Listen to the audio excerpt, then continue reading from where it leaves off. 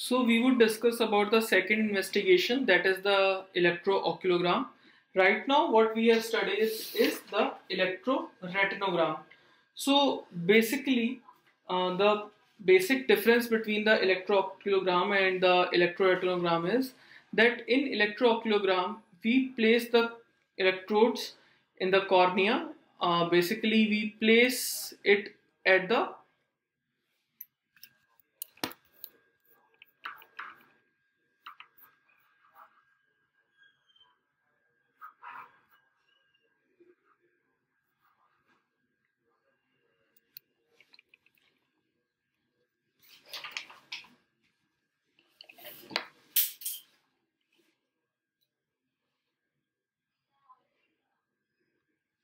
So basically now we would discuss about our second investigation that is the electroretinogram.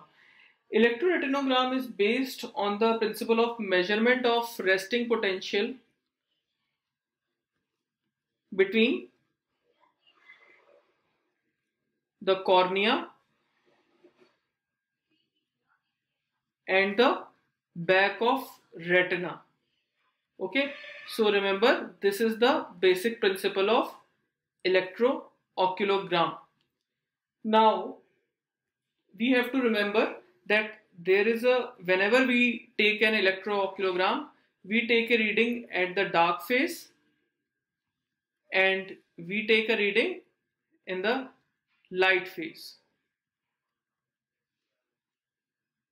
So basically when we have to investigate a patient for electrooculogram we put electrodes at the corners of eye and one electrode that is the ground electrode in the forehead. So one electrode is at forehead and the other electrodes that we have taken is at the corners or the canthal region of the eye. Now we have to see the resting potential. One resting potential we see in the dark phase. So how down it goes let's say like this. And one resting potential we see in the light phase. Okay? So we see how big it goes. So then we get a ratio that is called Arden index. Many times the question has been asked on the Arden index so first of all, you have to remember that Arden index is done in the cases of electrooculogram. So what is Arden index? Basically, Arden index is maximum height of light peak divided by minimum height of dark peak. Okay, so Arden index is maximum height of light peak divided by minimum height of dark peak. Here, if the value is more than 1.85, it is considered as normal. If it is between 1.6 to 1.85, it is considered as subnormal. And if it is less than 1.65, then we call it very abnormal or very subnormal values. So anything that is beyond 1.65 is considered as highly abnormal. So your question would be, sir, why would you need an electrooculogram? So the basic feature or basic use of electrooculogram when we have electroretinogram, because basically both of them tell about the retinal function.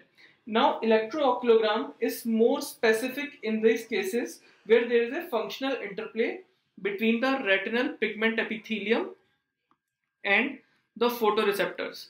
Okay, so it is more specific in the cases where any of these is involved. So few things that you have to remember that it is the investigation of choice in a disease that is known as Best vitelliform dystrophy. Also, it is a supplement tool in addition to the electroretinogram. So it supplements the finding of electroretinogram. You can confirm the findings of electroretinogram with the electrooculogram. More specific for the B wave. So wherever there is a decrease in B wave, you would get a decrease in the electrooculogram also. Also, it is important in the cases of chloroquine toxicity